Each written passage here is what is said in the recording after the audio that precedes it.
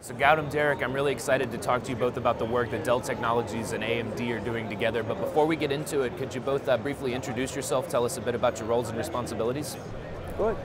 Go for it. My name is Derek Dicker. I'm responsible for AMD's EPYC product line, specific to the enterprise and HPC side of the house. Uh, I'm Gautam Bhagra. I look after strategic partnerships for Dell's telecom system business. All right, so Gautam, tell us a little bit about the Dell AI for Telecom suite and the work you're doing with AMD. Yeah, first and foremost, I'm very excited about the partnership and would love to welcome into our Dell AI for Telecom suite.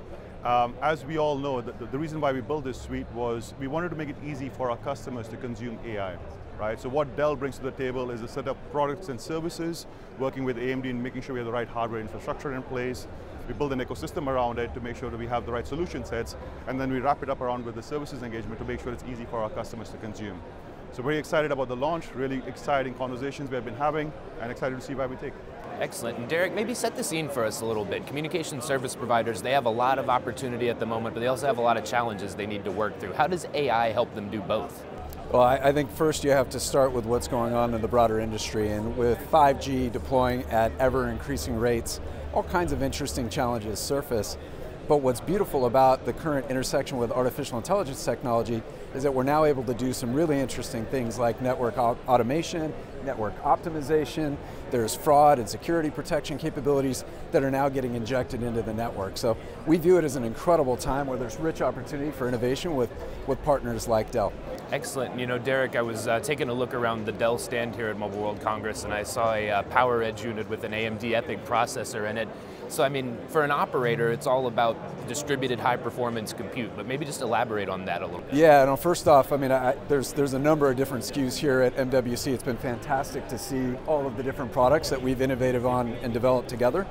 Uh, one of the things that we're particularly proud of is EPYC is now on its fifth generation of products with deterministic delivery all along each of those generations. The capabilities of the product are actually super advanced in terms of performance. Performance and power efficiency are kind of the core tenets of the architecture itself. And what we're finding is that in the telco world, that's highly valuable in applications like the packet core applications in UPF. Okay. And then uh, Gautam, you know, maybe give us some insight into the big use cases that the Dell AI for Telecom suite addresses. Yeah, so there, I mean, as you know, there's a lot of interesting use cases that operators are currently exploring with AI, right? So it's all around how do I make my network better, more efficient, highly reliable, and performant. So one of the things we keep talking about at Dell is get your AI to the data and not the other way around.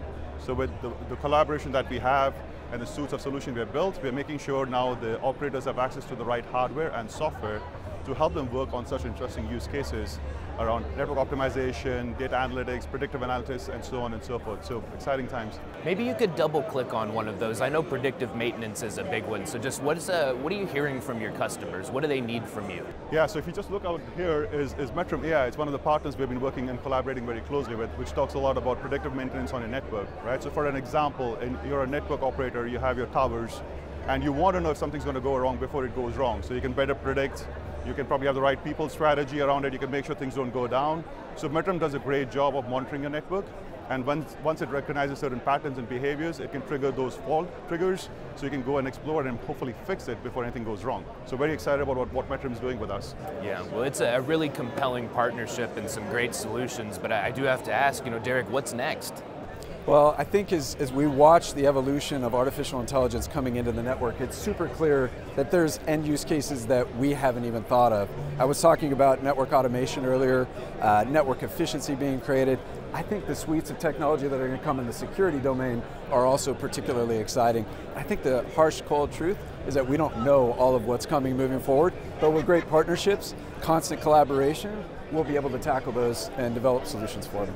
Gentlemen, I really appreciate you taking the time to tell us about the work you're doing together and share your perspective with our audience. Awesome, thank, thank you. Thank you very much for the opportunity.